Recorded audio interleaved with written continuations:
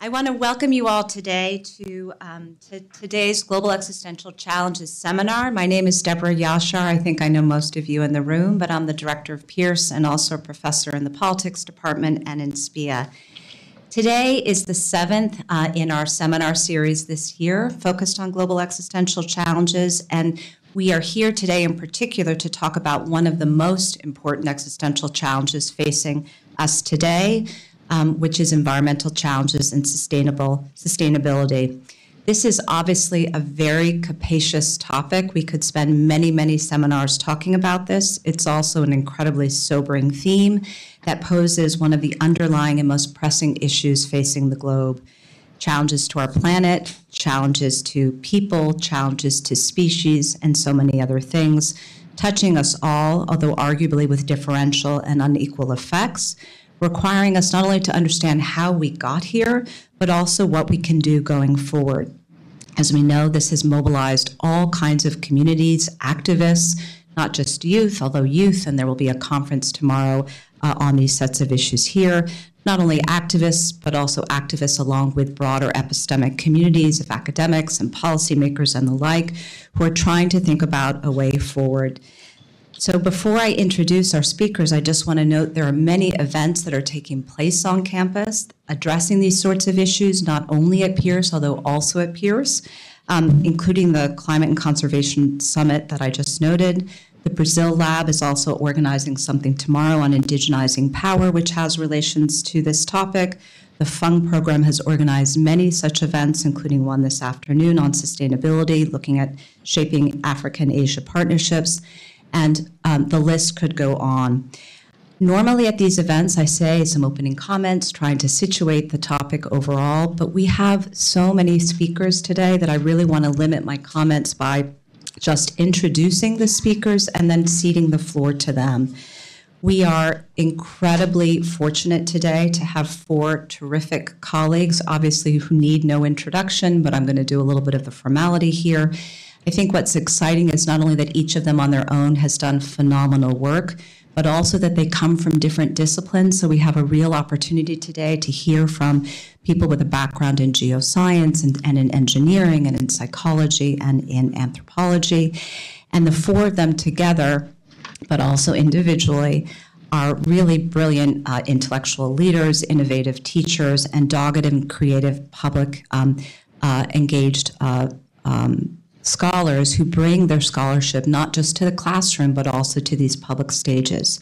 So let me introduce them very briefly. We're going to start off with Michael Oppenheimer, the Albert G. Milbank Professor of Geosciences and International Affairs and the High Meadows Environmental Institute and Director of CPRE, the Center for Policy Research on Energy and the Environment. He's going to speak about the challenges of adapting to climate change, looking at both the global north and the global south. He will be followed by Anu Ramaswami, the Sanjay Swani 87 Professor of India Studies and a Professor of Civil and Environmental Engineering, the Princeton Institute for International and Regional Studies, uh, PIIRS, and the High Meadows Environmental Institute. She's also the director of the Chadha Center for Global India, and she will be speaking about urban regions as drivers of innovation as well as environmental challenges. Third, Elke Weber is the Gerhard R. Andlinger Professor in Energy and Environmental Professor of Psychology in the School of Public and International Affairs. She's also the Associate Director for Education of the Andlinger Center for Energy and the Environment and the Director of the Fung Global um, uh, Fellows Program here at PIIRS. And she's going to speak about global existential challenges from both a risk and decision making perspective and looking at climate change in particular as a leading example. And last but not least is João Biehl, the Susan Dod Brown Professor of Anthropology, the chair of the Department of Anthropology, and also the director of PIIRS's Brazil Lab. And he will be speaking about the Amazonian tipping points and the challenges for the Lula government as well as for indigenous peoples. So we have a lot to speak about. Each of them could fill the full hour and a half. And so I want to say without further ado, we're going to turn to them. I just want to reiterate a few things. Each speaker will have about 12 to 15 minutes. If you see me going like this, it's um, I'm not asking a two finger. I'm just letting them know um, where we are in terms of time. That will be followed by Q&A where the speakers will come up. Um, and all of this is being taped. So again, uh, as you're listening and speaking, just remember um, that uh, this is a, a taped set of discussions. So I want to welcome our speakers. Michael Oppenheimer will start off, and please give them a warm welcome.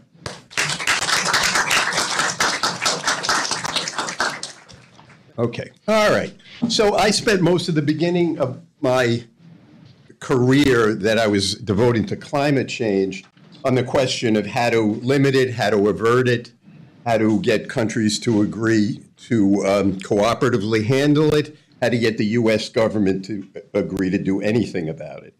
And, um, you know, there's been some progress in that direction, clearly. And in fact, in many ways, one can be optimistic about the, um, the impending, whoops, that timer should not be on. This is going to slow me down. I can't speak as fast as the timer wants me to go. I'll just do it from here. So, um, uh, there have been changes. There's an impending energy revolution. Princeton is uh, neck deep in figuring out the uh, intellectual part of it or the uh, expert part of it. And there, we're going to see big changes in, in the world in that way. But is it enough? And with the understanding that it's probably not enough. That is, if you consider enough to be meeting the Paris goals of one and a half or two degree warming above pre industrial levels, and uh, even, uh, even a slightly higher temperature, uh, the likelihood is we're not going to make it in that sense. So there's going to be a gap between the aspiration to control emissions and limit warming and what we're actually able to do. That gap is already wide, has already uh, opened up. People are already suffering the consequences of not just uh, climate events or climate trends, but climate tre- events and trends related to climate change, things that would not have happened without the buildup of the greenhouse gases. Boy, this is making me talk fast. So um, I'm going to quickly more, uh, walk through some of the things I learned as I reoriented my own understanding and my own expert uh, uh, view and my own research and teaching in the direction of focusing more on adaptation. What do we do about this growing gap between the climate as we knew it and the climate as, as it is now manifesting. And how do we protect people? How do we protect property? How do we come out the, big, the sort of beginning of the manifestation of the climate problem? Uh, uh, how do we come out the other end some decades down so that humanity on the whole is in better and not worse shape? So I have a few examples here of how we currently deal with adapting to climate change focusing not so much on trends, but on events. And if you look at how we've adapted to events in the past, it's and then you frame it in terms of how fast the changes are coming at us, uh, we have a lot of work to do, let's put it that way. So here's a slide I love to show. I know Elke was at a presentation about eight or 10 years ago when I showed this. I'm going to show it again. I'm going to show it until things change.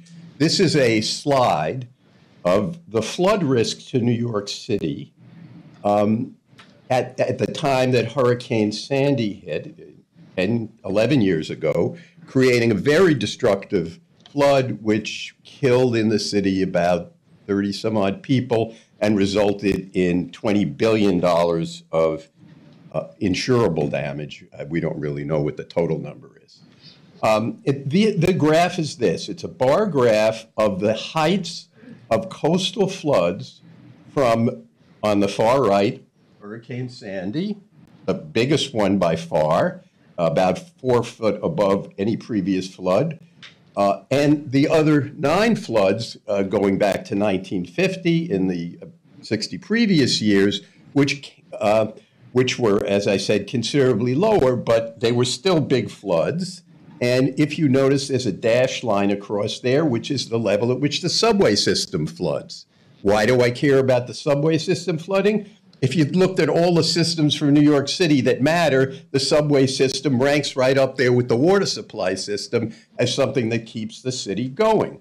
Now, you could you notice that the Sandy flood was about three and a half foot above the level that keeps the subway uh, uh, keeps the subway from flooding. The subway had never flooded, and so you might say one lesson from that graph is all right. Sandy was so unusual that the subway flooded, uh, and uh, it's not surprising decision makers uh, hadn't done anything to prevent that from happening.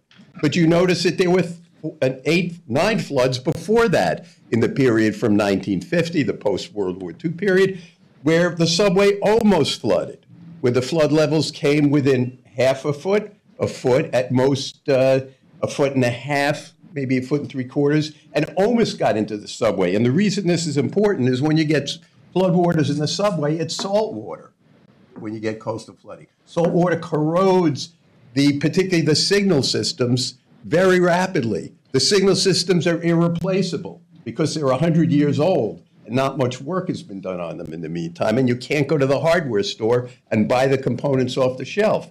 And it was, it was a combination of diligent work on the, on um, the part of the emergency workers and the fact that there was at least some kind of system in place for pumping out the subway that the, um, the system was saved and was shut down only for four days.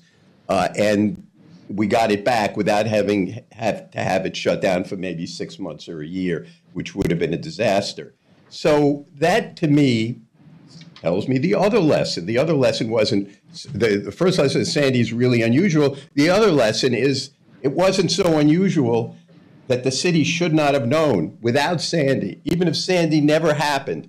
These other floods came very close to possibly destroying a large part of the system. Of course, once water gets underground and into the system in uh, sufficient amounts, it finds the lowest level. It's going to flow, probably flow away from the spot where it first landed, and there's going to be trouble.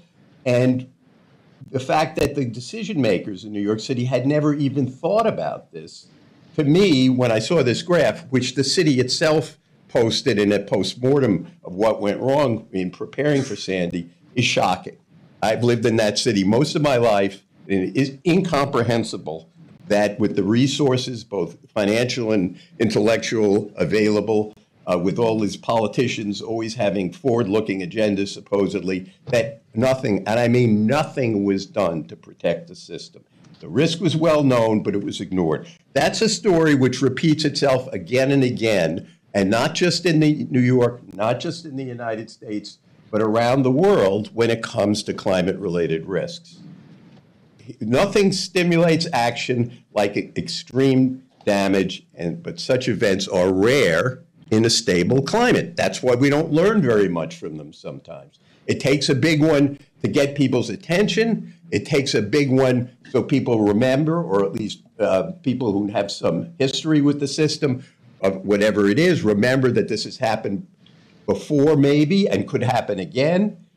But really, political action, for a variety of reasons, is almost impossible at a high level high enough level unless there's a significant event. This is a history in Northern Europe too. This was the, um, the aftermath of the North Sea storm in 1953. A couple of thousand people died in the UK and the Netherlands, and it led to some very forward looking and substantial flood improvement projects. The current coastal defenses in the Netherlands uh, you know, supposedly coastal defense in the Netherlands, at least 500 years old. But after the dismal first half of the 21st of the 20th century, with two world wars and a depression and who knows what else, uh, Netherlands had let the, um, the so-called dikes deteriorate, and it, they after this flood, with so many people dying, they built the modern system. At the same time, uh, the Thames barrier was constructed, which protects London and parts of the basin up um, uh, downriver from London. You can see it when you uh, fly over in an airplane, if you ever do, into Heathrow. A lot of times they fly right over it. You can get a bird's eye view of it, literally. Um, but that project would not have gotten done without this uh, monumental flood. And here's the other lesson both sets of construction take it, took at least 30 years to complete. It took 29, uh, about 29 years to do the Thames barrier from the beginning of planning to completion, uh, 45 years actually to complete the defenses in the Netherlands. So remember that. Not only do people wait too long, but once they act, it's not like they're protected right away. There are decades. And with climate changing, that means that events that are big enough to cause this kind of damage are going to come more and more frequent. The space between events is going to shrink. Here's an example of that from this figure. This deals with extreme heat events. Uh, the uh, left-hand panel is the so-called 10-year event, an event that happens only once a decade. Uh, the, the other is a 50-year event. This is average for the Northern Hemisphere, by the way, is what the statistics are. And you notice that already, compared to so-called pre-industrial times, 1850 to 1900, the once in 10-year event now occurs, whoops, I'm sorry, I really should have remembered to do this before I, now likely to, the once a decade event now occurs three times a decade. If we were so lucky as to make the Paris target four times a decade, if we are so lucky as to make the less aggressive Paris target of two degrees, 5.6 times a decade, you're getting close eventually to once a year by the time you get into the three to four degree range. That means that when you get ready to prepare for an when an event hits you and you think, "Uh oh, we need a defense against that," and this same kind of calculus is true for extreme floods, coastal floods, freshwater floods, and a number of other climate-related events. It's just the periods are different. You know, once the event hits, and you all of a sudden have the political will together to do something about it, you know, it takes 10, 15, 20 years to get everything in place particularly not so much for heat events, for which there is in some sense a quick fix. I'll get to that in a minute. But for these other things that require moving people out of the way or building huge infrastructure, you cannot do that overnight. And in the meantime, the next big event is already coming down the bowling alley at you, and you're one of the pins, basically. And there's not enough time eventually to really get ready. So, how do you do it? We don't have an answer for this yet. But somehow we have to speed up the processes that relate to thinking ahead, planning. Uh, right now, even if you're thinking ahead and planning, you still have to wait for a nasty event to happen because the political will isn't there. All of this has to change. And then let me show this, which brings up another problem um, related not only are the events getting more rapid uh, in their appearance, but the distribution of impact is getting, I think, progressively more skewed. This is a wonderful figure that the Washington Post put together uh, a few days ago, actually. And it shows the heat related risk and how it will change in the future, or I should say, temperature related risk because we have we have people in the current world dying both from too much cold and too much heat. Depends on where you live. Almost done. Good. Um, and if you live in the uh, if you live in a part of the world that uh, where you're going to see a decrease in extreme cold in the future, and at the same time, if you live in a relatively wealthy country where you can get greater adaptation and the, you know, places where extreme cold will decrease and where there's a lot of adaptation capability if we only employed it tends to be richer countries.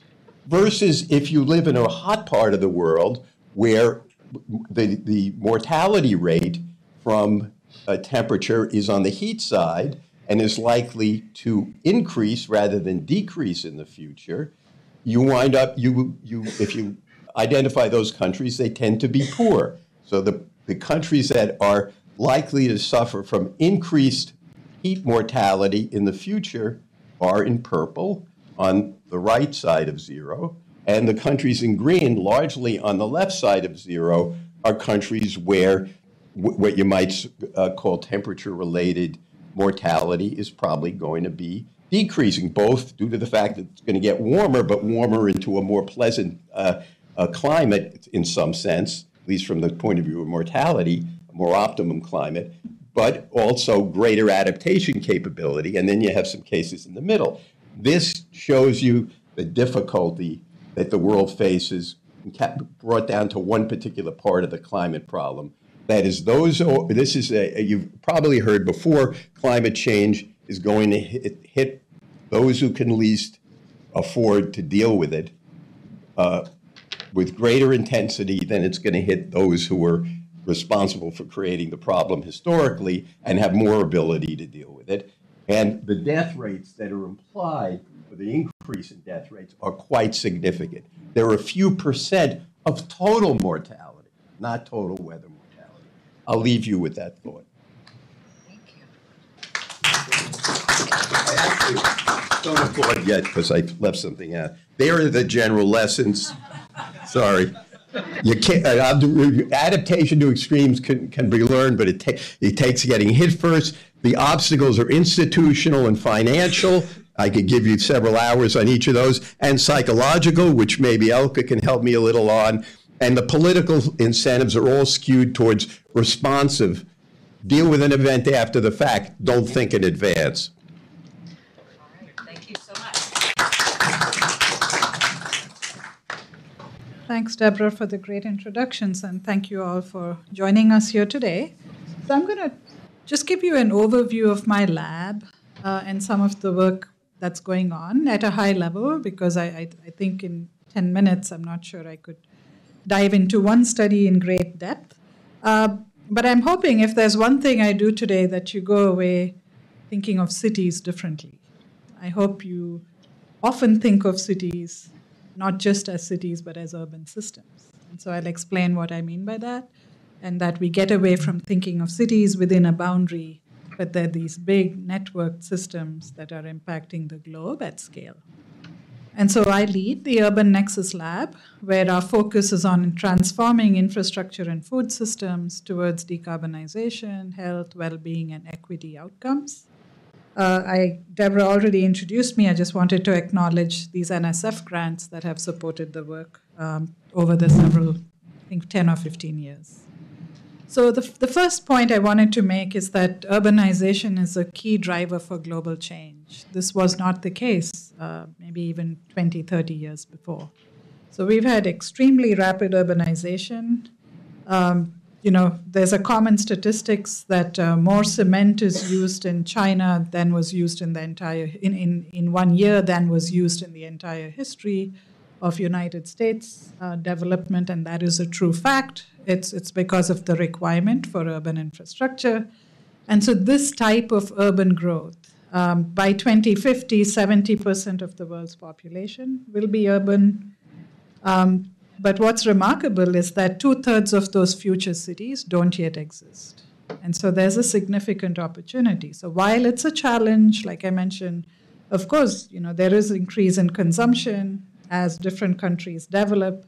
And there's been very strong data showing that no country has developed economically without going through urbanization. So, urbanization is a path to development. It comes with resource requirements. How can we make those resources and the energy and the materials environmentally friendly, decarbonized, but also addressing some of the issues here, for example, equity? 30 to 40% of urban populations in many cities. So that's 30 to 40%. It's an incredibly high number. Live in informal settlements. So as we think of progress uh, towards decarbonization and resilience and adaptation, it's also important to keep in mind, even within cities, what is the inequality within cities. So there's the transnational inequality that Michael talked about, and there's the rural urban inequality that happens within countries, and then there's this intra urban inequality that happens within cities. And so, a lot of my group's work is in addressing these nexus outcomes. And what you see in the middle is actually a report I led uh, for the National Science Foundation. Um, I serve on their advisory committee for environmental research and education, and it's called Sustainable Urban Systems Articulating a Long Term Agenda. And that's the key message that we, in fact, you can see there. You can see a neighborhood scale. I don't know if you can see people bicycling. You can see sort of the whole city. But then the third picture is the view from space, showing that urbanization is now just transforming the globe entirely. And so there are statistics like uh, uh, water requirements for, for just 40 of the world's biggest cities are impacting 40% of the world's watersheds. 70% of global greenhouse gas emissions come from energy use in cities. And so the urban impact is immense, but the opportunity is equally immense. And uh, part of the reason I'm, I'm excited about projects we're doing at the Chadha Center and we want to do now that COVID has, has diminished, I don't want to say past, is, uh, is that it would be phenomenally uh, impactful to be there when these new cities are being planned, to have a different model for thinking about cities that could translate to other parts of the world, particularly the ones that Michael just showed. In fact, this is a perfect segue of how do we think of cities in those parts of the world where urbanization is going to accelerate. So, in my work, I focus on these seven key provisioning systems, um, and I do that intentionally.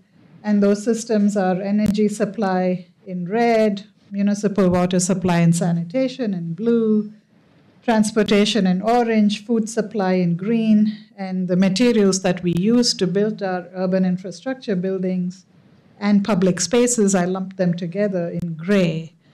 And the reason we focus, and this is slightly old, this is a 2016 paper with 2010 da- data, uh, that these seven sectors collectively contribute almost 90%. It's actually the latest data is 94% of global greenhouse gas emissions. They contribute 97% of water withdrawals. And then on this side, you can see they contribute to a vast majority. Maybe I can use my arrow. They contribute here to a more than 20 million premature deaths. And these are deaths due to non communicable diseases, but entirely caused by poor infrastructure, air pollution from polluting infrastructure, or inadequate infrastructure, lack of sanitation. And uh, the statistics are really uh, right. This is about 6.5 million back in 2010. Currently, 9 million premature deaths every year happen due to air pollution. And a lot of that is because we're urbanizing, we have high concentration of populations in these urban areas who are exposed to high concentrations of pollution. And so those numbers are really incredible. So the World Health Organization says one fifth to one fourth of uh, these premature deaths are caused by environment and infrastructure. So, I mean, imagine if someone were to say one fifth, and you could actually improve it by better infrastructure, and yet we're relatively passive. If someone were to tell you 20% or 25% of premature mortality is because of these systems, I don't know, I think it would be a very big wake up call. And so that's the message in my lab. Can we connect uh, health, well being, with the types of changes we want to see in terms of water sustainability or greenhouse gas mitigation and decarbonization? And can we also do that while addressing equity? And so this slide is just saying that the urban contribution, which I already mentioned, is, is exceptionally large. So 70% of global greenhouse gas emissions are associated with cities when you consider cities importing electricity, petroleum, and so on. If you were to include emissions from producing cement and producing food, that number is easily much higher. And so I just want to say how big of a challenge, but also how big of an opportunity urban areas and transforming urban areas systemically offers.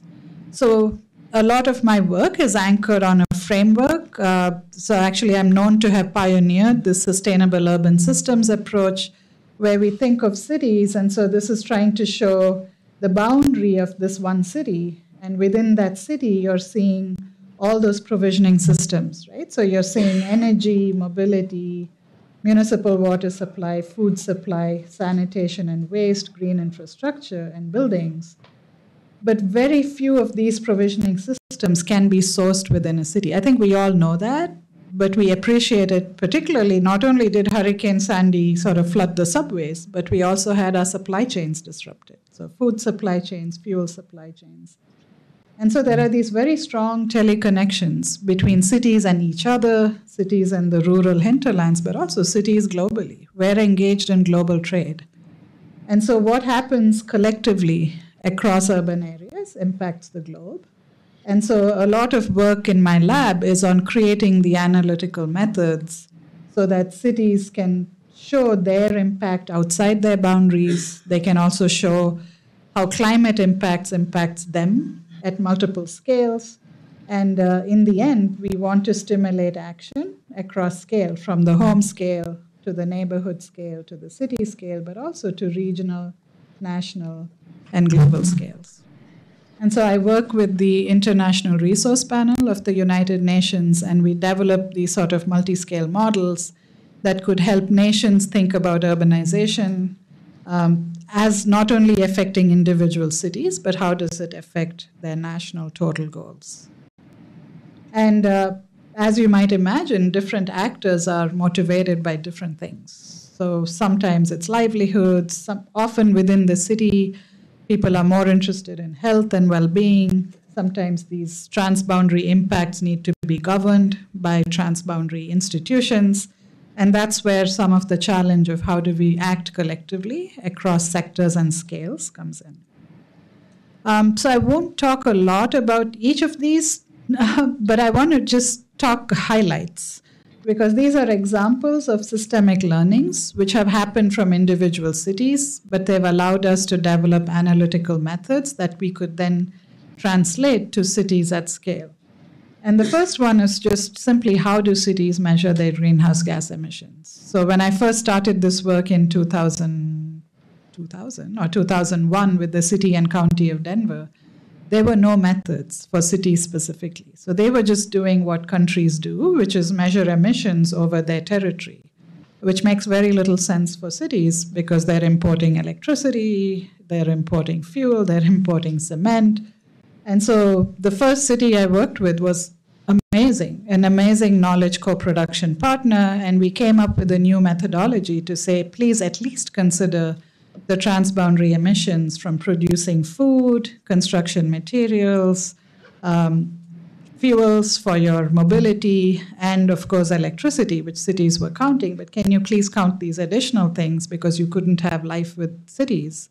Without these provisioning systems. So Denver was sort of a frontier forerunner city um, that actually adopted this transboundary approach. And that then was replicated across global cities. And uh, I'll show you in the next slide, has been institutionalized as the approach for US cities, as a preferred approach for US cities, all US cities. Um, so it was an example of doing something deeply with one city, but then actually having impact afterwards. The second was systemic efficiency. So oftentimes when, when we do modeling at the national scale, the grid size is often bigger than the size of a city. And so many things that are important in cities don't get considered in these bigger models. And so here we showed that Chinese cities, the opportunity to exchange waste heat, we have so much industry going on in Chinese cities that that waste heat was actually sufficient to heat and cool almost all of their buildings with some to spare. And so these types of options could be substantial in decarbonizing and also creating local energy options. Um, I won't go through all of these, but we've done some interesting work on inequality analysis in Indian cities, saying what would it take to get the 30 or 40 percent who right now live in informal settlements to actually have a lifestyle that enables well being for all within planetary boundaries. What does that mean? Um, in the US, we've uh, developed some methods to unpack income and race because I, I was often in these meetings in city councils or public health meetings, and it's a hard conversation to have about race and income. And very often people would say, oh, but isn't it just an income effect? And I don't mean just in a minimizing way.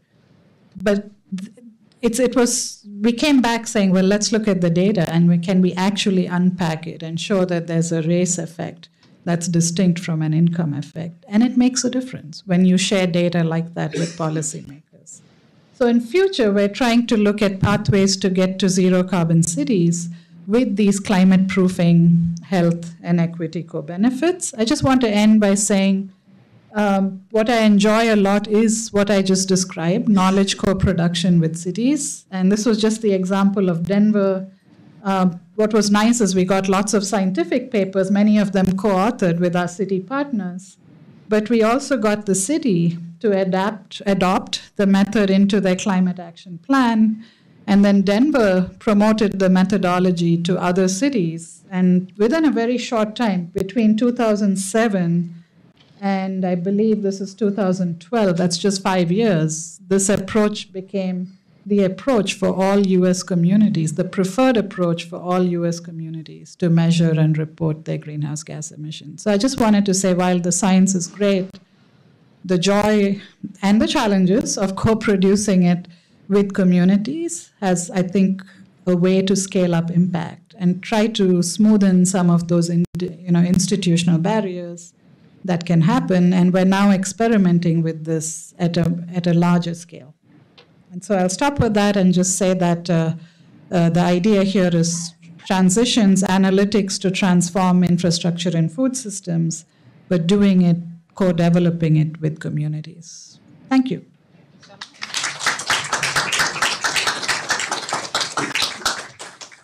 Thank you so much, Deborah, for organizing this, uh, and thank you all for being here. I also have a slide that I like to show, Michael. it basically talks about the fact that we live in a time period we've called the Anthropocene, you know, to denote the fact that it's increasingly human decisions and human decisions related to energy, energy consumption, energy sources that are influencing uh, the quality of our environment.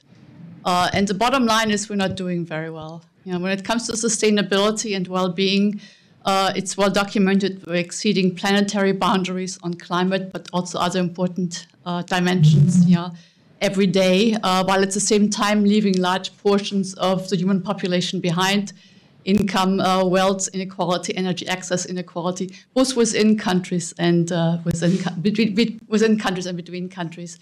And the challenges, uh, but also a set of solutions, are well documented. You know, the UN Sustainable Development Goals, the IPCC reports that come out every five to seven years. Uh, and yet, you know, there probably is not enough action uh, on, on all of these fronts. Uh, when COVID came up uh, four years ago or so, people thought, well, maybe sort of COVID and how we deal with the COVID epidemic could be a, a, a lesson in how to deal with, with climate change. Turns out we didn't do so well on the COVID front as well. Uh, but yeah, sort of the, the, the two uh, existential challenges have a lot in common, yeah, as, as, shown on the slide.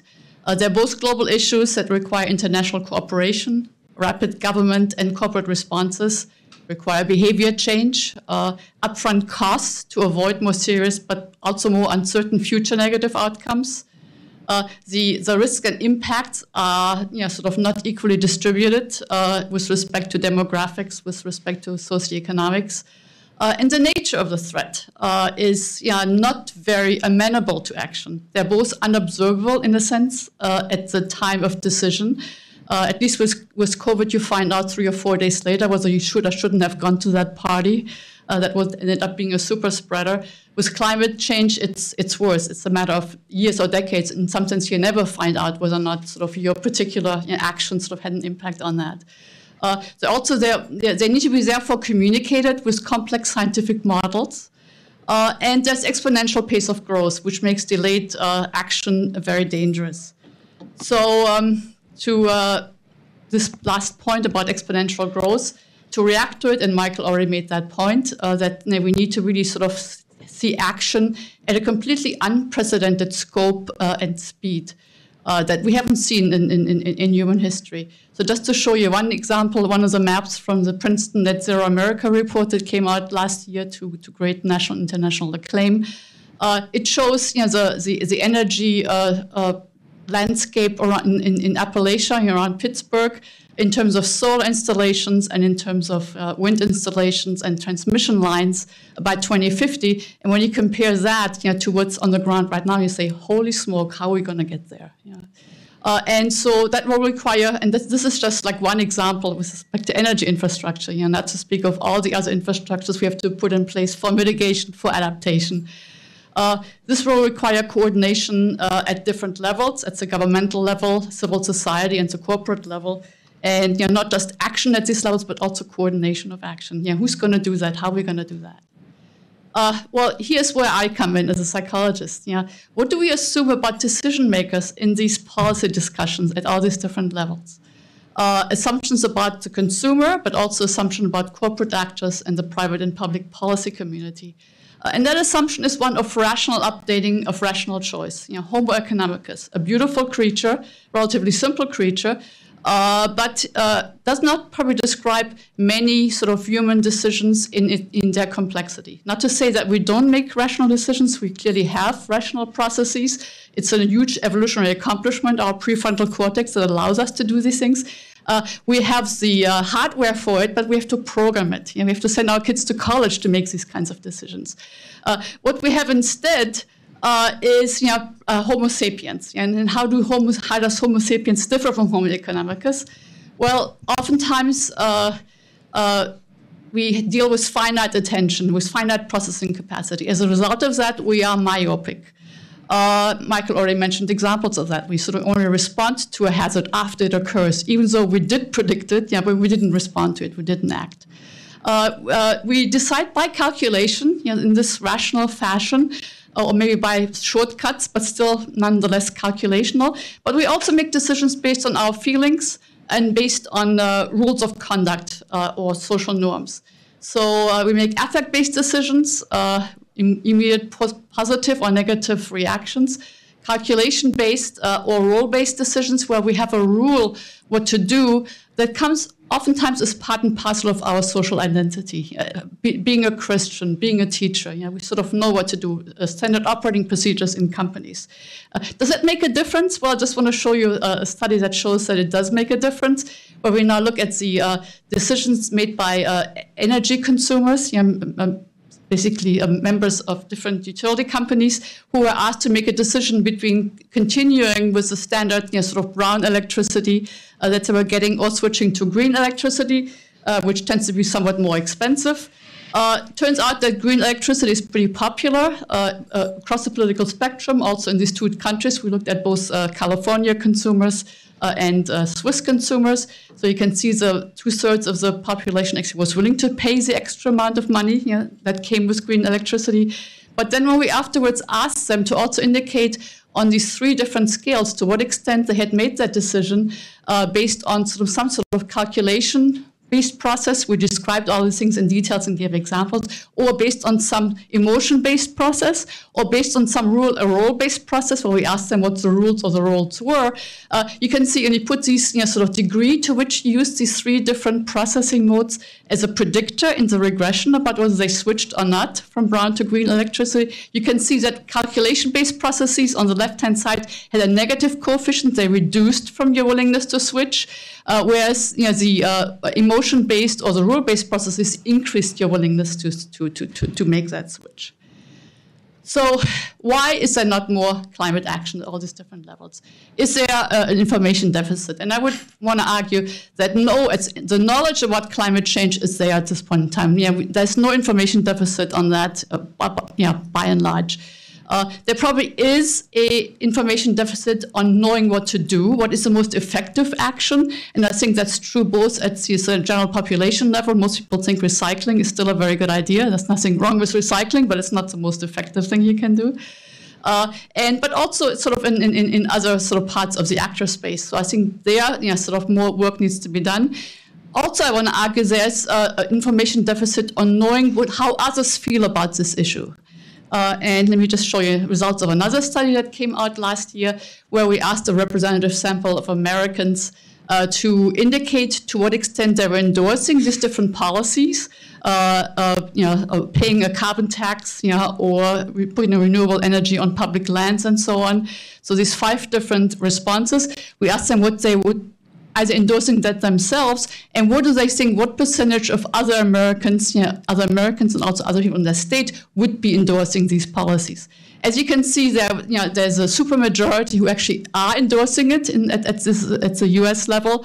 Uh, but only but half of them thought other people sort of were also endorsing it. So as a result of that, you get the spiral of silence. Nobody talks about these issues because they think they're in a minority. They're going to get attacked. They're going to feel embarrassed about it. So uh, in, on top of the uh, information deficits I talked about, there also are cognitive and motivational deficits, you know, myopia, uh, loss aversion that I've written about, and I, I won't say much more about that here. Uh, but also the problem with uh, climate change and other oftentimes uh, uh, societal ha hazards and, and problems are the long time delays and the deep uncertainty about them uh, you know, we don't you know, really know sort of how actions will resolve in time and whether it's all worth it. And how do decision makers, again, from a psychological perspective, deal with that level of deep uncertainty? Uh, if you don't know what to do and what the right action is, we just basically observe others that we trust, yeah, and we think that have more knowledge. And there's, there's, there's a lot of wisdom in, in, in, the wisdom of the crowds, following what others are doing. Uh, so adopting the beliefs of trusted others and the actions following social norms you know, is, is, an example of that. But that, of course, makes for partisan responses and for the political polarization that we see right now with respect to climate change. We saw it with COVID as well. Um, Another way in which we can deal with uh, this deep uncertainty is basically using personal experience, experiencing uh, a, a, a, huge flood. You know, and that, as Michael showed, doesn't just work at the individual level, also at the social level. Seeing is believing, and seeing you know, severe damage because you failed to do something will prompt you to do something like that. Uh, and uh, but of course that makes uh, responses reactive rather than proactive. And as Michael was pointing out, and I knew as well, we need proactive action this, in this space. Again, let me show you some results about how, uh, how these uh, two processes actually sort of work together. Uh, this is a, a, panel study where we've been following 5,000 Americans since the onset of COVID, you know, every few months, asking them about their concern about COVID uh, protective actions you know, on, on, the COVID front, but also about climate change. Uh, their attitudes, beliefs, worry about climate change, but also their, you know, their personal uh, and, uh, and collective actions respect to, to, to climate change mitigation and experience with personal consequences, extreme weather events you know, in, in, in their neighborhoods, and the damage incurred by them.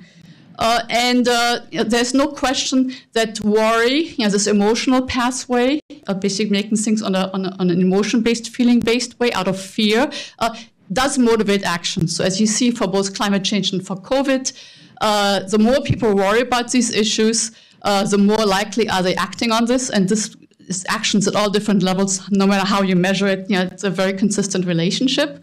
Uh, there's also no question that this kind of uh, action coming out of concern is politically uh, polarized. You don't need a statistical test to see that these groups differ from each other for both hazards. Uh, but now what happens when you actually have also have personal experiences, you know, not just following trusted others with the polarization, but you realize that extreme weather is actually hurting you and your community, uh, and COVID is killing your, your, your, your, your, your family uh, and, and, and, impacting you negatively economically. Uh, the more negative experiences people have, again, for both hazards, uh, the more do they worry about it, and we know worry leads to action. Mm-hmm. Uh, and does, how, does that actually help with political polarization? And so you find, uh, if you break down people's personal experience and their effect on worry and on action by political party affiliation, that the Republicans who before probably were much less concerned about climate change, uh, now all of a sudden get this you know, signal that says, hey, what I thought was a hoax actually is serious. You know? uh, and we know from learning theory uh, that things that sort of that that that that, that surprise you have a greater impact get, get, getting to revise your decisions. Uh, and as a result of that, you know, sort of there's more change in worry, more change in action. So there is actually a decrease in political polarization. So uh, let me finish on this slide. Can, politi- can behavioral uh, solutions save the world? You know, the answer is no, not single-handedly. Uh, but they are making com important contributions. On the one hand, on one side, there's actually a significant contribution from just demand-side solutions that can be motivated by behavior change, and I did, haven't had a chance to talk about that here. It's an important wedge. Uh, in the contribution to climate change mitigation, but also behavioral science-based implementation of other tools uh, can actually multiply the effectiveness of these other tools, whether it's uh, supply-side innovation, yeah, sort of uh, uh, technological inno innovations need to be adopted by users. Uh, economic incentives, whether it's a price on carbon and a subsidy of renewable energy, how that is being uh, implemented makes a huge difference. Uh, and also legal mandates, efficiency standards or renewable mandates can be communicated uh, and implemented in very different ways. And understanding more about the, the abundance of processes, you know, not just rational calculation, but also the, the use of, of feelings and, and, and, social norms uh, can make a difference in how effective these other tools uh, will change behavior and uh, will reduce uh, climate gas emissions. So with that, I thank you for your scarce attention. Great. Thank you, Deborah. Thank you, colleagues. So nice to, to see you um, all here. So um, I will zoom in into the planetary nexus of Amazonia. And, uh, and I want to make a case for how history plays human, non human relations, politics, and storytelling matters for us to get a more realistic and hopefully actionable social science for our worlds on edge. So, the materials that I will present uh, to you uh, come from um, ongoing work that's being done at the Brazil Labs, various research hubs, especially safeguarding Amazonia and engaging indigenous ecologies of knowledges. And I'm deeply grateful to our interdisciplinary team, especially Miqueias Mugge, Fabio Zuker, and Rodrigo Simon, the research associates that are here with us. Um, but also Marina Hirota and Carolina Levis, wonderful climate uh, conservation scientists, uh, PIIRS global scholar, uh, Amazonian anthropologist Carlos Fausto, uh, archaeologist Eduardo Neves, and our own Princeton uh, physical anthropologist Agustin Neves, uh, Agustin Fuentes, sorry, as well as colleagues at Princeton that we are engaging with in the Net Zero or Net Zero Earth America, Net Zero America or Net Zero Earth as well. So so as uh, as you know, I, I want to start with uh, basically broad description you know, of the Amazon rainforest, which covers uh, most of the Amazon basin of South America. You know, large um, territory, uh, of which um, uh, two million hundred thousand are covered by the rainforest, and the, the region includes um, uh, nine nations. Over 3,000 formally acknowledged indigenous territories, if you think of Pan Amazonia, right? So half of the planet's remaining rainforests, uh, with an estimated 390 billion individual trees and about 16,000 species, if you think of Amazonia. And Brazil has 60% of the, of the Amazonian uh, territory. It's an area, an area equivalent to 50% of Europe or the continental uh, US. Uh, as we all know, it's a hotspot of biocultural diversity with over 400 indigenous peoples and more species of animals and plants documented than any other ecosystem in the planet. Um, there are now in the Amazon region of Brazil about 22 million people, and uh, 180 different languages are spoken.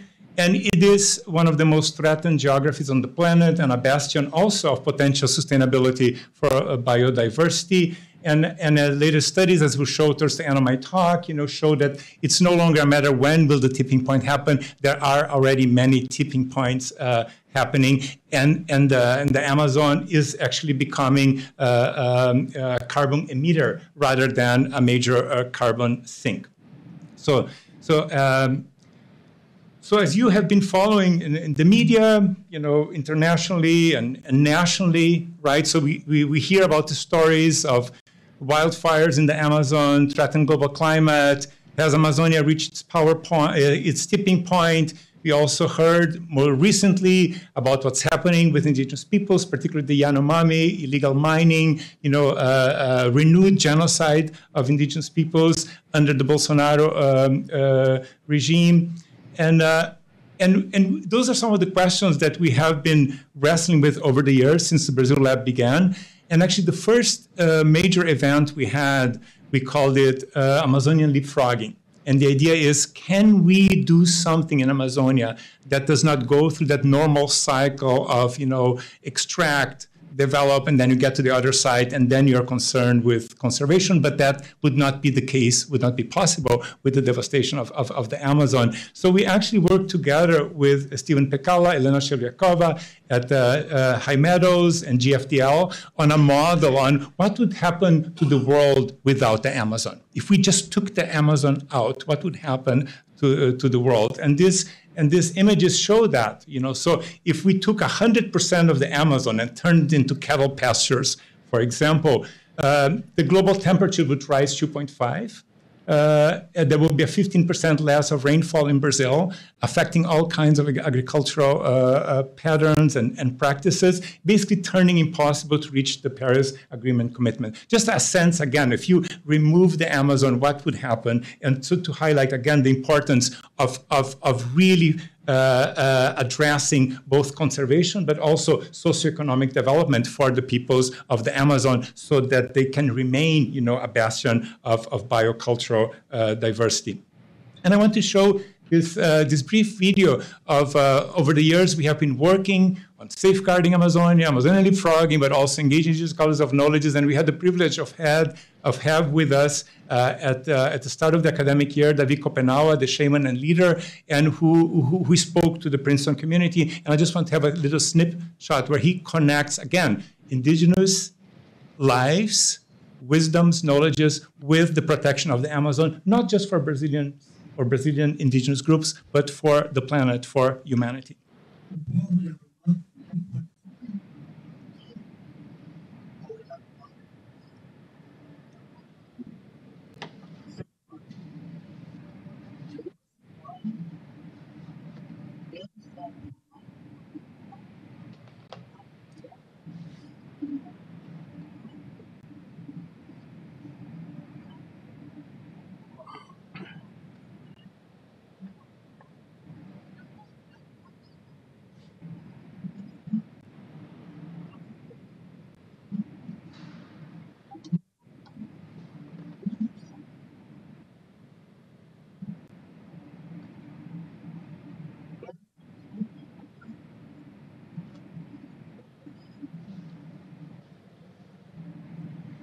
So just uh, a little view here, you can see the map going. You can see the increased deforestation. You know, since the and this map goes from the from the 80s when when uh, when Mapbiomas was able to recuperate the satellite imagery. First, you see how the neo-extractive development model Brazil put into place since the since the 70s, based on monoculture, basically soybean and cattle ranching that forest fires plus hydroelectrics, right, illegal gold mining, you can see the borders of, of, of, of Amazonia, the encroachment. And now in the past uh, few decades, you know, over 20% of the Amazonian range, Brazilian forest has been uh, deforested.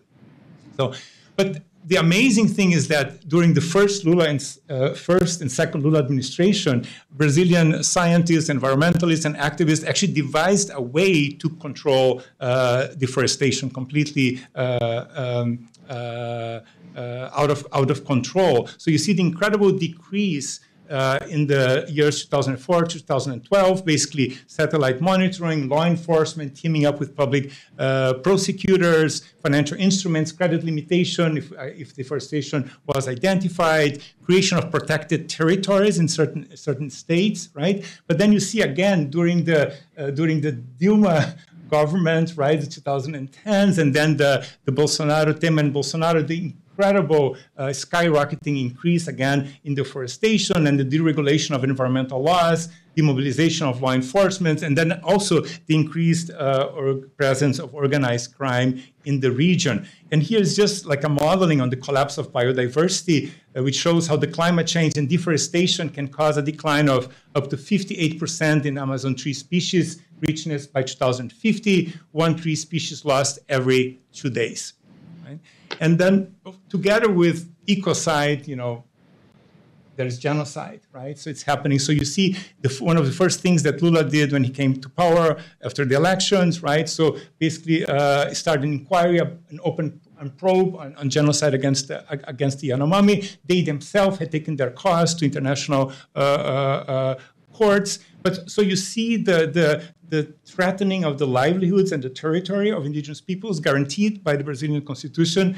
But you also see the effect on hydro, of hydroelectric plants that they have in, in the region, part of that you know, uh, development model. Uh, again, reignited in the 2010s, flooding of vast areas, changing fish migration patterns, biodiversity loss, and all of this, you know, leading to, to, to food insecurity for indigenous and riverbank communities. And here you see the, the, the graph here, like the, in Alto, the Boa Vista, southern Amazonia, uh, the loss of 40% of forested areas, you know, during the period that we are talking about. But then also you see the soybean and the yucca and the impact that it have on, on, on, on, on food uh, consumption and possible food security, right? So this is a this is an image of the indigenous land of Sangradouro, and here's, here you see the encroachment of plantation and what's happened to the indigenous territory. Right? So, so you see it's completely surrounded here by, you know, by, by, by that model of development, agricultural development, plantation. But at the same time, you know, in that territory, you know, they preserve the forest, but they but that something is happening to, to their ecosystem and to their to their livelihood, right? So so now Brazilian scientists they, uh, Luciana Gatti especially, she did an incredible study. You know, it was actually in the New York Times Magazine a couple of months ago. Uh, she did a study in uh, in uh, uh, published, I think, in in Nature, um, where where the question is that we are turning the Amazon into an accelerator of climate change instead of being the carbon sink, the preservation of biocultural diversity, it's becoming an accelerator of climate change. And she was able to locate in certain areas, particularly in eastern uh, Brazilian Amazon, the, those areas. And those are areas in which there is a, you know, you see climate of extremes already. Intensification of hydrological cycle, drier droughts, more intense floods, expanding of monocultures, right?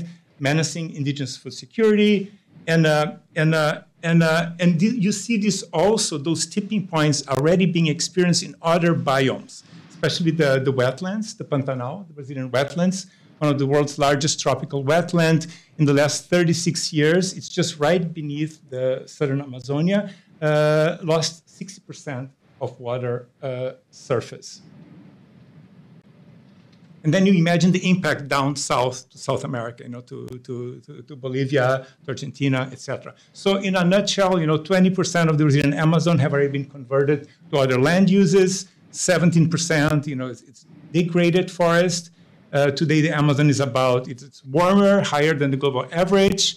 And you see those cascading effects of those tipping points triggered by deforestation, fire, and climate change. And then this striking image here, you see where where does the forest, you know, begin? Where there are indigenous peoples, and they say you need to protect us because floresta em pé onde tem indígena, right?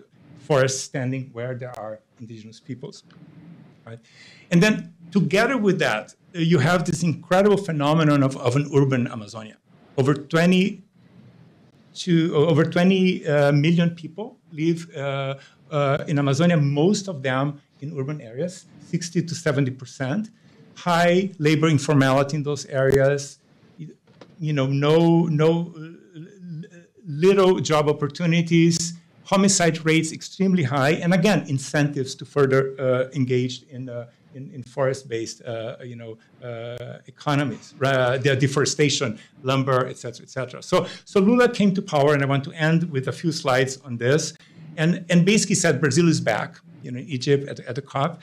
And, I, and I think he really uh, is, is conveying a sense that he wants climate change and Amazonia to be at the center of, of his legacy. And then the question then comes, how do you decarbonize further? How do you make Brazil a green power economy? Economic growth is a key priority, but still reliance on commodity exports. Is there congressional and public support to make that happen? How do you nurture interest in forest-based economies and nature-based solutions, right? And we all know that technocratic solutions are not enough. Given the environmental and political challenges and opportunities, Brazil can move the sustainable need on a different register. And, and we want to, I want to highlight with these images um, this sense that maybe more immediately Brazil is trying to postpone the end of the world. Marina Silva is back in, an indigenous ministry has been, has been created in Brazil. There's a strengthening of law enforcement now in environmental and indigenous state agencies. There's an attempt to shield forest protection agencies from political vagaries. The question of how you, uh, how you trace supply chain commodities, but also how do you expand bioeconomy projects among uh, local communities, and how you restore Brazil's central place in global climate uh, diplomacy. And then one thing that Lula could do, and that really depends on, on political uh, pressure and public support for this, those areas in white are undesignated public lands and most threatened by deforestation, actually, 29% of the territory. So Lula could, with his signature, he could make the case he will transform that into protected territories without the approval of the Congress. It might come with a political cost, but there are things that can be done immediately on the register of really protecting uh, uh, uh, this, these territories. And we all know that deforestation happens in private lands, right? Indigenous lands are lands where the forest is are standing, and and there's an incredible new surge of studies really trying to engage indigenous ecologies of knowledges, you know, their own ideas of conservation, their own sense of, of sustainability, right? Because there is a tension in models of conservation. They tend to imagine them without humans. And, a new, and there's a new ecological framing emerging from, uh, from Brazilian scholars working on the Amazon. Indigenous activity has promoted biodiversity for over 12,000 years. The Amazon was one of the few independent centers of plant domestication. So there's agricultural innovation with the forest, anthropogenic fertile soils, the dark earth, relation between biodiversity and sociolinguistic diversity. So you don't need to annihilate diversity of customs, patterns, cultures with, you know, uh, uh, with, uh, with agriculture and, and, uh, and, um, and, uh, and kind of an urban life that indigenous peoples themselves created. In other words, social change and cultural homogenization plus language loss can engender biodiversity. So we need to bring people back to the conversation, especially indigenous peoples, to the question of, of conservation. And here is a study from one of our partners, Carolina uh, Levis, which shows how forest abundance increased on areas of archaeological sites, of indigenous sites. So it's a very interesting study. And that raises the question, could some of those sites now with new technology, you can identify them, could they become cultural nature heritage uh, sites in, in Amazonia? So concluding, the Amazonian rainforest is shaped by ecological and cultural processes. The question of how to transform conservation research and reframe ideas of development from an Amazonian biocultural diversity perspective is a critical one that we are taking up at the lab how to account for indigenous environmental services and to harness indigenous nature-based solutions, not assume that the work that they are doing is for free.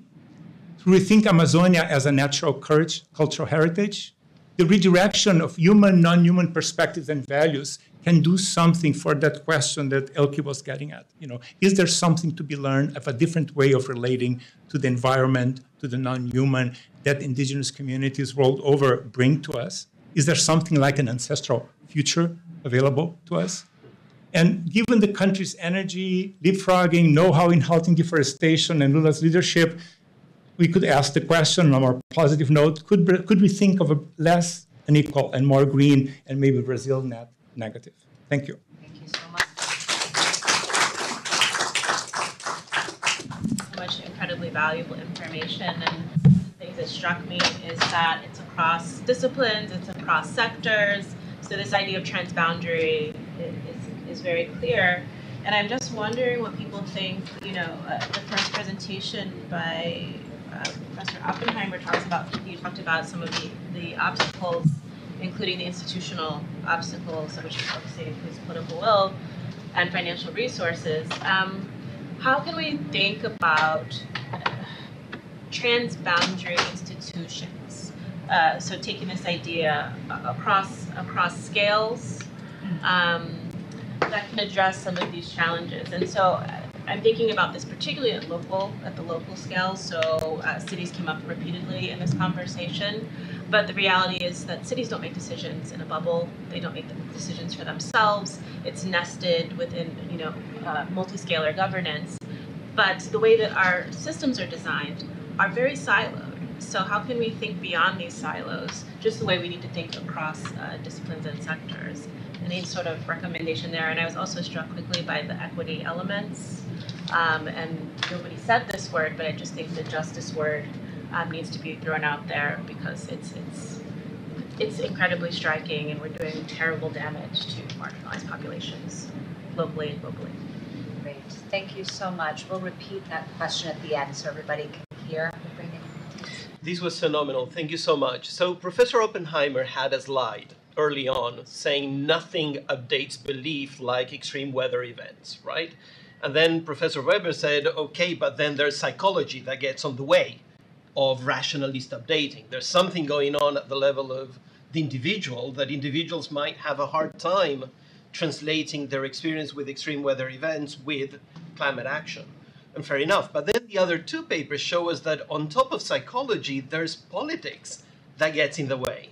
And there may be conditions under which, even if you have experience with extreme weather events, or even if you see the Amazon burning, the politics just gets on the way in a big way. And that would account for why on earth, in particular in the global south, experience of extreme weather is not translating into climate action. And one should be developing theories to account for what's going on. I mean, one theory could be um, it's all about clientelism.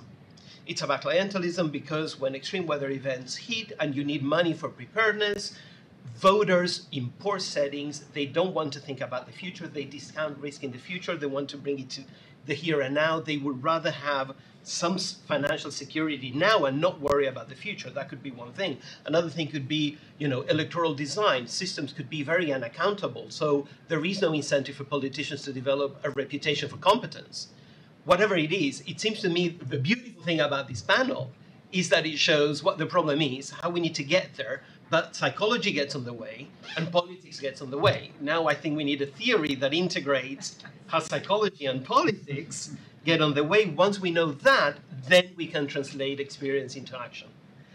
Great. Well, if I could, just to recap and given the time to say, we really have three questions on the table, if I can pull them together. One is how we think about this in a multi-scalar way, local, national, transnational, going forward. Second is bringing back the issues of inequalities and their experiences along various dimensions. And the third is the politics alongside all these issues, given that politicians are always navigating multiple sets of, of concerns oftentimes have a two to four year time scale for making uh, making differences, and so this challenge of bringing the politics into this with a theory. Can you do that in two minutes each? Why don't I send it back? And what I'm going to suggest is pick up the part that seems useful, or if you want to leave us with an additional question as we end, with the knowledge that we will continue this conversation, um, hopefully in a future panel um, and outside of this one. So, Michael, do you want to start off? That's a boatload of stuff to have to think about. Um, I, I, don't want to propose a theory. What I will say is that uh, there's a lot of experience around the world, and it's not all bad in all places in the same way at all times, and that there are good and bad examples. Um, if you, um, the other point I want to make is that the psychology, as I understand it, uh, forgive me, I'm venturing an opinion on this, uh, the psychology and the, the institutional problems kind of reflect each other, or at least in the worst cases, they feed back in a in a nasty way on each other. We, uh, you know, in, in, the United States, everything uh, for in terms of uh, adaptation to climate change, in a way, there was no adaptation originally, so it was all disaster response. So that's a historical remnant and you have to get beyond that. But that means we're stuck with a bunch of institutions, and they're very powerful institutions like FEMA and the U.S. Army Corps of Engineers, which are focused on uh, ex post, uh, not ex ante, and how you. So it's you have to fight. That means to reorganize that, and reorganizing institutions, we don't do that very well, and that itself also is a reflection in part of the political two to four year thing that you mentioned.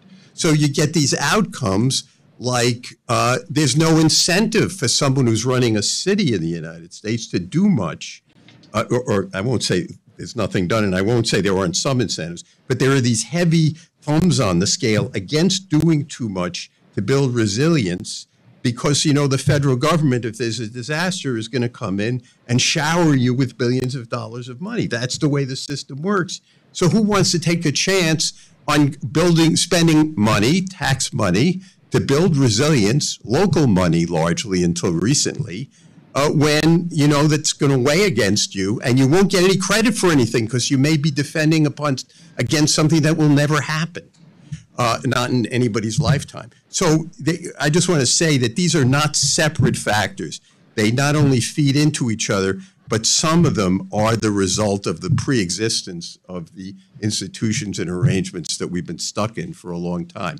It's a very complicated problem to break apart, and I think the solution does have to do with largely with two things: going to the local level a lot to try to build from the bottom, but also one of the biggest problems is finance in that it's centralized, and in most countries, certainly this country, the dominant revenue raising is at the central, the national government, but the responsibilities are at the local level, a lot of them.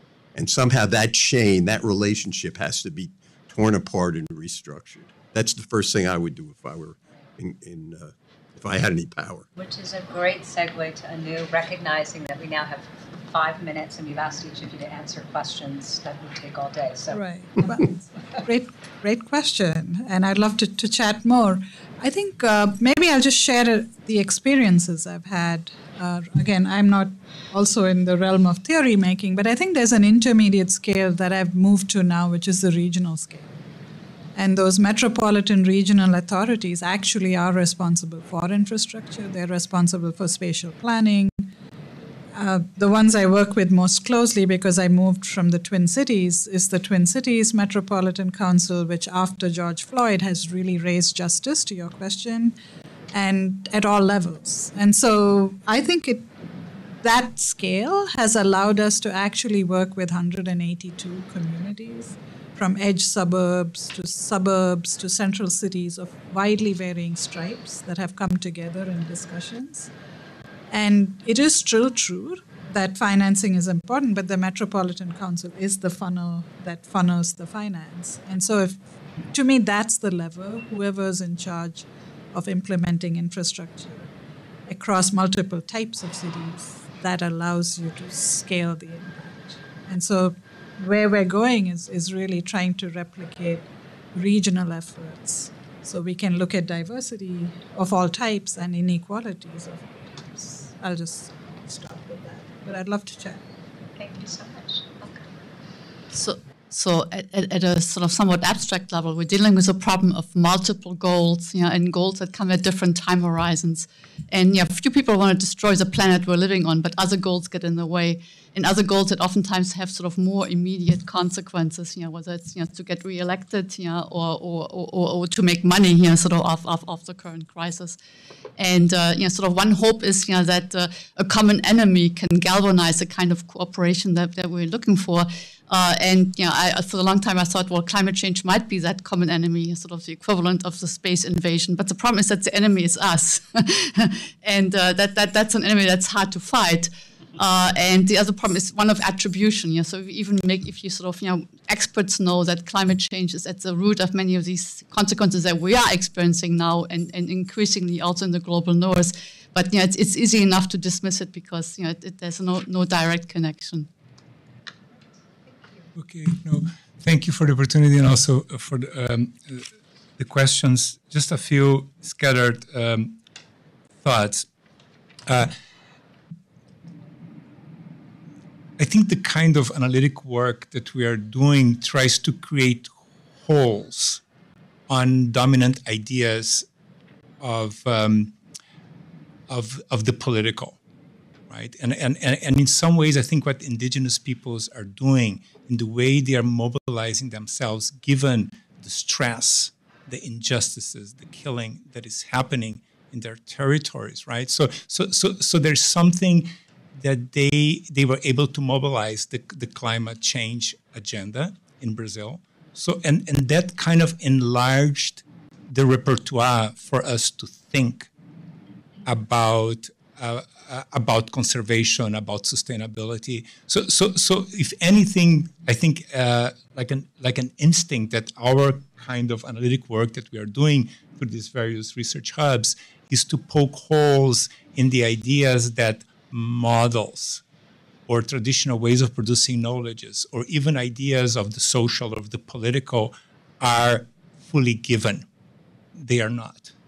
You know, so, so, so I think there is more creative work that we can do in academia, and we need to engage with some of those communities who are doing that kind of creative, conceptual, political work, but also with um, groups of scholars and policymakers and scientists and activists who are mobilizing to produce knowledge in other ways than the traditional academic knowledge making happens.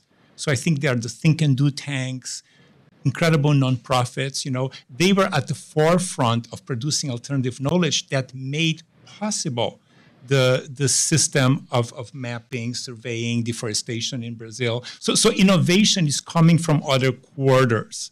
And, and, and, and, I, and I think the, in terms of the political that you ask, uh, Matthias, if we look at, for example, the the, the struggle to decriminalize abortion in Argentina, completely unlikely that it would pass. pass. But the activists, the feminists, they kept doing it.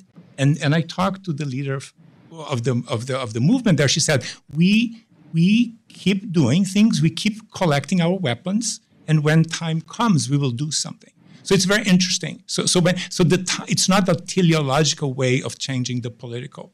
I think that's at stake here. And, and I think the, the idea of Lula just you know, endorsing the, the, those 25% of the territory and granting it uh, status could be a big bang of sorts that could do something.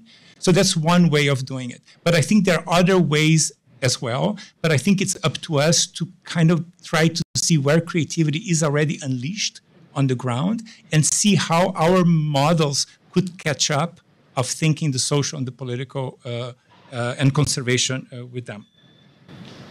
Mm-hmm. So before we give um, our panel a round warm of applause, really it was a phenomenal, phenomenal panel. I just want to highlight a couple of things. One, the beauty of the research that's being done here, but the connections to people on the ground in other places, not only to understand, but to be forward thinking, publicly engaged, and engaging in this kind of radical imagination that João just talked about, um, and that has come up in some of the other panels. I want to highlight, though, as a political scientist or who's not on the panel but just introducing them, that on the one hand, radical imagination has to be part of it. The sharing of knowledge, whether or not it's science or moral or cultural or what have you, has to be part of it. But always in the context of recognizing the political and the material constraints. And today we've talked a little bit about the political.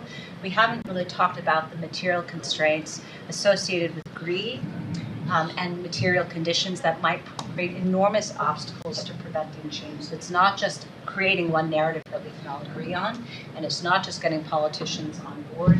It's also about overcoming obstacles in the context of a system that benefits some over others. And so this has to be part of the, of the conversation as we go forward. I want to thank the four of you for a phenomenal set of presentations and for sharing your work with us, and to all of you for your comments. Thank you.